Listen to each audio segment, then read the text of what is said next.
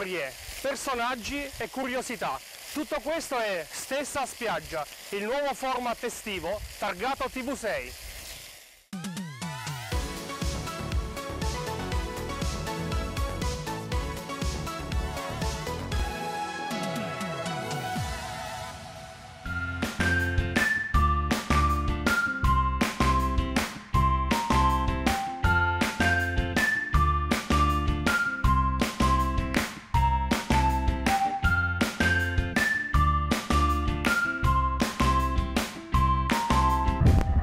Provincia di Teramo sul lungomare di Roseto degli Abruzzi, nella trasmissione Stessa Spiaggia facciamo l'incontro con eh, Luca Di Donato, giovanissimo titolare della, dello stabilimento La Rosa dei Venti. Grazie Luca di aver accettato il nostro invito innanzitutto. Grazie a voi. Ecco, eh, ne ho 18 anni, è appena finito la maturità, però prima di arrivare a questo vogliamo raccontare eh, la storia di questo lido. Assolutamente, allora il nostro lido ha inizio nel 2005 quando mio padre lo ha acquistato. E dato subito in gestione a mio zio Paolo fino al 2013 dove poi è passato agli altri miei due zii Franco e Vittorio fino all'anno scorso quando insieme a mio padre di comune accordo abbiamo deciso di cimentarci insieme perché fondamentalmente c'è anche lui grazie, insieme a me eh, nella gestione del lido rinnovandolo completamente sia in colori che in struttura e affidandomi a me appunto l'incarico di coordinare il tutto. Ecco, come mai questa scelta? Tu hai appena finito la scuola superiore, no? E quindi hai fatto questa scelta importante di metterti subito nel mondo del lavoro, una scelta difficile perché lo stabilimento di solito è un luogo di divertimento dove tutti i ragazzi si divertono della tua età, invece tu devi lavorare. Ecco, perché questa scelta? Allora, innanzitutto perché all'inizio mio padre, stanchi i miei due zii, Vittorio e Franco, voleva darlo in gestione a una terza parte, una terza persona, quindi extra familiare. E poi però parlando è uscito fuori che questi, questo volere di prenderlo e mh, mm, però gli avevo detto faccio l'università o comunque avvio l'università, quindi il percorso universitario 3-4 anni e poi vedo se riesco anche io a prendermelo a carico. Allora lui l'ha buttata, buttata, giù e ha detto perché non provare direttamente noi fin dall'anno prossimo a prendercelo a carico nel mio aiuto. In qualche modo tu sai organizzare e di conseguenza mi ha detto provaci e in qualche modo riusciamo. E come sta andando? Secondo me è bene, è una stagione che comunque è partita abbastanza col botto, tra virgolette, perché c'è molta gente e stiamo lavorando di più rispetto agli altri anni, è una mole di lavoro anche più importante e ora in questo momento c'è il ricambio tra fine giugno con le persone che ripartono e inizio luglio che incominciano a venire i turisti, specialmente quelli fuori dalla nazione. E niente, quindi ora ci aspettano i due mesi più importanti e vedremo se ne saremo messi alla prova. Quali sono i servizi che offrite, eh, soprattutto all'interno della vostra spiaggia, vostri, del vostro stabilimento? Allora, quest'anno abbiamo rinnovato, abbiamo fatto la cucina, di conseguenza offriamo ristorazione, a pranzo specialmente, per quanto riguarda la sera aperitivi, comunque qualcosa in ambito molto soft. E, ehm, invece per quanto riguarda la spiaggia offriamo una, gli ombrelloni e abbiamo deciso di innovarci, anziché usare utilizzando gazebo, eh, utilizzando le gazebo. E, ehm, strutture nuove a Roseto che si sono viste poco e abbiamo ho cercato eh, delle aziende in tutta Italia, tra, anche tramite la fiera di Rimini, la, fiera, importante fiera del, dei balneatori. E cioè, mi sono informato dove poter acquistare eh, questi gazebo e allora li ho presi e ne abbiamo nove in questo momento accompagnati da tre palme perché c'è sempre chi vuole rispettare la tradizione tra virgolette. Che assomigliano un po' a dei privé? Sì, sono piccoli privé, sono gazebo di 3 metri per, per 3 metri e hanno una parete in PVC che appunto offre privacy e una cassapanca di un metro che offre uno spazio per raccogliere giochi, attrezzatura della persona che è anche chiusa con un lucchetto e personalizzabile, infatti il lucchetto a combinazione che solo il cliente sa. Abbiamo appunto lo spazio per i più piccoli dietro di me e alla mia sinistra invece abbiamo tre campi, due da beach tennis fissi e uno da polivalente, sia da pallavolo che da beach tennis che appunto vengono utilizzati specialmente nei weekend da adulti e ragazzi per giocare e appunto divertirsi. Invece per quanto riguarda poi lo stabilimento abbiamo visto servite degli aperitivi, avete anche piccoli snack, ecco come, come avete suddiviso l'angolo proprio bar? Allora innanzitutto partendo dal fatto che il bar è stato rifatto anche quest'anno, di conseguenza è stata un po' una sfida, capire sia la mole di lavoro a cui andavamo incontro, perché essendo un nuovo locale più grande, ampliato, non sapevamo in realtà fino a dove potevamo spingerci. E abbiamo suddiviso il locale più che altro il bar in tre parti, la parte colazione, la zona colazioni con la vetrinetta che è quella che è sulla, sulla strada, poi abbiamo la zona classica con un lavandino eccetera e poi abbiamo la zona dei cocktail, quindi utilizzata principalmente il pomeriggio e la sera e offriamo per lo più comunque colazioni salate, colazioni dolci, aperitivi anche mm, a base di sia carne che pesce, e, mm, frutta fresca e con, anche con yogurt. Io ti faccio un grande in bocca al lupo perché sicuramente per la dialettica riuscirai a fare eh, una carriera grandissima sotto forma di eh, balneatore o comunque di eh, imprenditore del settore balneare. Per una domanda te la devo fare come mai non hai fatto il calciatore o comunque non ti piace il calcio, ti piace il calcio? Visto che tuo padre ha fatto una carriera importante sotto questo punto di vista. È stata una domanda che mi sono sentito dire moltissime volte. Allora, inizialmente io in realtà dico, non ho mai trovato una grande passione nel calcio, fin da quando sono piccolo. Vuoi perché ce l'avevo in casa? Non lo so. Eh, però ho provato, ho provato a stare a, a fare calcio, però mai piaciuto, mi sono sempre andato sul nuoto. E io girando comunque città con mio padre ho sempre tenuto il mio stile, ho sempre, avuto, sempre seguito il nuoto. E poi niente, poi alla fine... E mi ha riportato al mare ovviamente. E allora in bocca al lupo perché sicuramente avrai davanti una carriera importante. Grazie. Piacevole incontro alla Rosa dei Venti eh, qui a Roseto degli Abruzzi sul lungomare con noi Daniele Croce, un personaggio del calcio abruzzese. Intanto grazie che ci hai atteso e, e potrai raccontare agli ospiti intanto che cosa si prova ad essere abruzzese e vivere queste spiagge, bei, questi bei lidi, questi bei stabilimenti. Ciao, beh, eh io che sono nato qui a Roseto per me è casa, quindi siamo abituati da quando eravamo piccoli a eh, svegliarci la mattina con la voglia di andare subito in spiaggia. Abbiamo la fortuna di avere un mare molto accogliente, eh, con spiagge grandi dove poterle vivere attivamente, quindi noi siamo cresciuti giocando in spiaggia eh, dalla mattina alla sera e quindi ora anche se adesso non ho, non ho più l'età dei ragazzini che giocano di continuo però è sempre, è sempre un piacere quando arriva l'estate non vedo l'ora di tornare per, per, godermi queste spiagge. Ecco qui a Roseto degli Abruzzi e soprattutto alla Rosa dei Venti ti lega l'amicizia con Daniele eh, Di Donato che è il papà di Luca. Eh, con lui eh, condividi anche la passione, la, la professione del calcio. Ecco, come hai trovato questo stabilimento che lui da anni ha, però per il primo anno ha gestito insieme al figlio? Ah, sì, con Daniele ci conosciamo da una vita, eh, abbiamo anche giocato insieme per paio d'anni, quindi diciamo che lì l'amicizia si è fortificata ed è andata avanti. Poi eh, nel, corso, nel, corso, degli anni, anche se non ci siamo visti più tanto per, eh, per forza di cose, eh, Ora Daniele è qui, ha ripreso un po' in, in mano la situazione, è sempre stato un lido molto accogliente, è bello, bello da vivere, ora che ci è tornato lui con l'aiuto del, della famiglia, del, di Luca che, che è diventato ormai un uomo, si vede che le cose sono anche migliorate, ma comunque sia io ti posso dire che sono sempre stato bene. Quindi... Allora ringrazio Daniele Croce, grazie per aver raccontato un po' quello che è il tuo punto di vista sugli stabilimenti abruzzesi, in bocca al lupo per il tuo futuro professionale. Crepi il lupo e grazie a voi, buona giornata.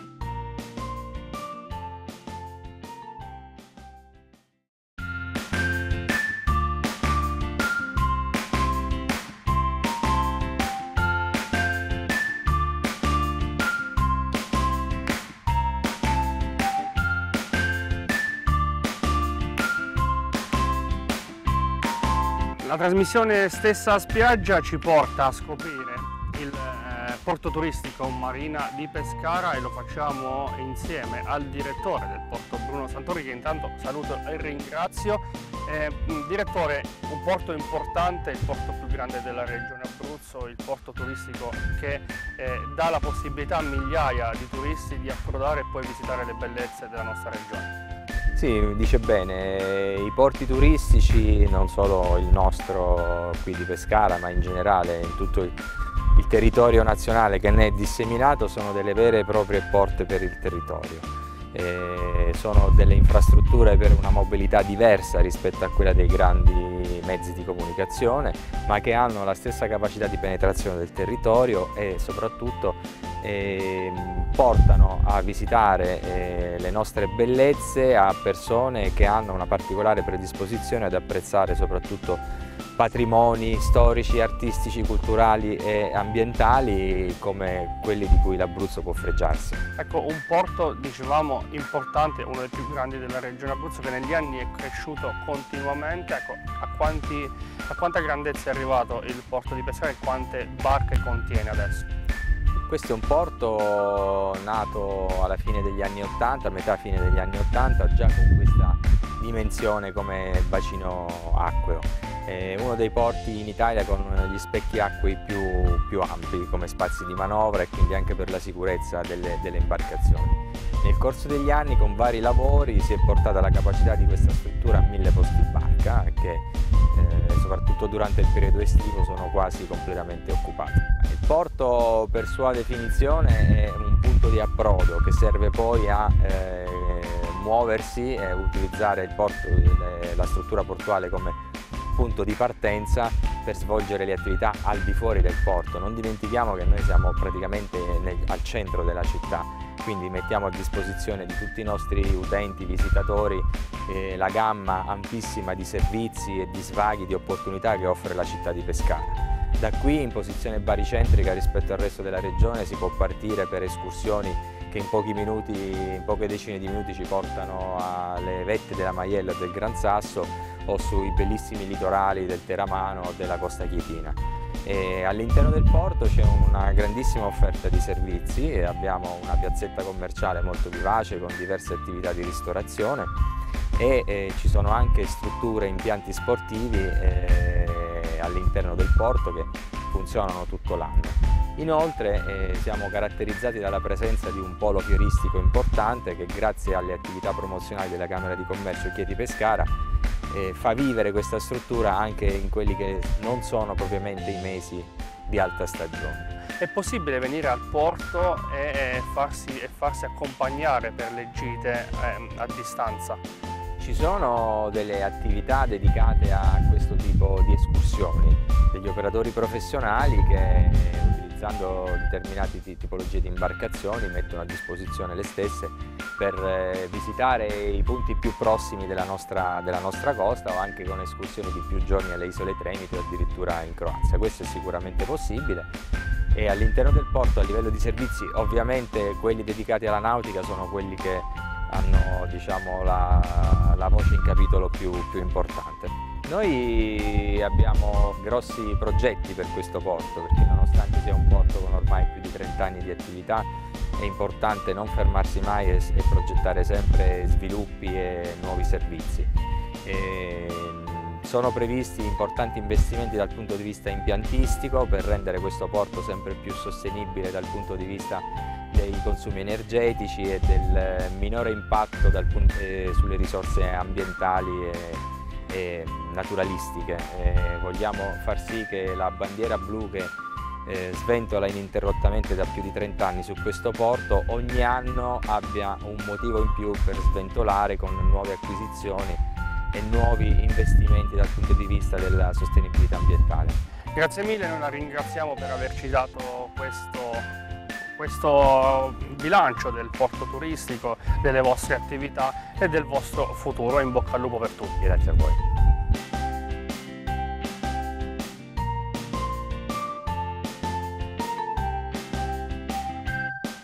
E il porto turistico Marina di Pescara non è solo approdo per eh, le barche, ma è anche un approdo per i tanti turisti, le tanti, tante persone che vivono eh, la vita della regione Abruzzo Abruzzo di Pescara e siamo in compagnia del presidente del Marina di Pescara Carmine Sacci. Nel vostro padiglione del Marina di Pescara da sempre e in questi anni in modo particolare ospitate sempre più manifestazioni di rilievo anche eh, nazionale. Sì, ormai da diversi anni abbiamo affermato un marchio che si chiama Estatica che eh, sviluppa una serie di eventi che sono al servizio appunto dei turisti e non solo del, dei pescaresi che gravitano intorno a quest'area. abbiamo la fortuna di avere questo gioiello dentro la città e quindi lo utilizziamo anche per avere uno spazio da vivere eh, l'estate. Quest'estate tra l'altro è, è un'estate particolare, ancora più dell'estate dell'anno scorso e quindi abbiamo messo in piedi un cartellone importante perché le aspettative sono tante, lo abbiamo, lo abbiamo messo in piedi anche naturalmente eh, rispettando le normative Covid sul distanziamento perché eh, non possiamo prescindere da questo. Abbiamo iniziato la stagione il 19 giugno e, e quindi finiremo la, stag la, stagione alla metà di settembre eh, con due manifestazioni che sono manifestazioni fieristiche che si chiamano Fermenti e Mediterranea.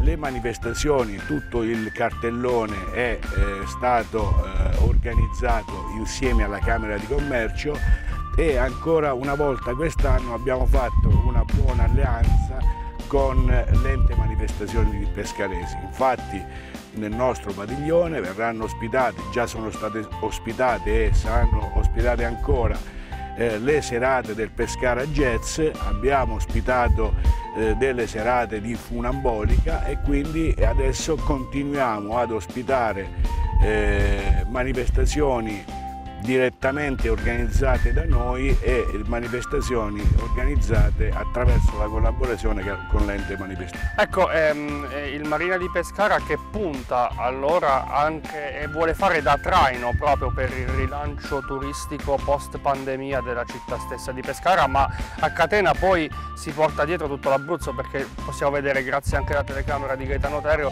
che da questa veduta del Marina di Pescara possiamo vedere il Gran Sasso, possiamo vedere la Maiella, riusciamo a vedere tutto il nostro Abruzzo, quindi il Marina di Pescara è proprio il traino del, del, del, del turismo abruzzese. Siamo proprio fortunati perché abbiamo, come dicevo prima, una struttura importante un, collocata eh, strategicamente per la nostra regione e non solo per la nostra regione, tant'è che le nostre eh, manifestazioni sono frequentate anche da turisti e da eh, spettatori che vengono da fuori regione e che vedono su questa dorsale adriatica eh, la possibilità di arrivare agevolmente al Marina di Pescara, tra l'altro siamo proprio all'uscita dell'asse attrezzato che entra direttamente, quasi direttamente nel porto, quindi che cosa vogliamo di più? Noi dobbiamo metterci semplicemente a disposizione e dobbiamo cercare di organizzare al meglio quello che eh, la natura ci ha messo a disposizione. Questo è il nostro obiettivo, sono diversi anni che ci lavoriamo, tra l'altro abbiamo un porto green, abbiamo il porto che è bandiera blu da oltre 30 anni e quindi cerchiamo di coniugare eh, la strategia complessiva affinché questa, questo marina di Pescara venga considerato come eh, un, eh, un, attrattore. Per chiudere, eh, ha parlato di bandiera blu, Pescara può eh, fregiarsi quest'anno anche della bandiera blu e questo non fa più che può far piacere allo stesso Marina di Pescara anche per il futuro. Certo, eh, come dico, come ho detto altre volte, noi siamo eh, siamo diventati la bandiera blu nella bandiera blu perché adesso con il fatto che il comune di Pescara è divenuta bandiera blu ci sentiamo meno soli e probabilmente eh, riusciremo anche qui a eh, massimizzare la sinergia complessiva anche sul, sulle tematiche ambientali e sull'attrazione non solo del porto turistico ma dell'intera città di Pescara.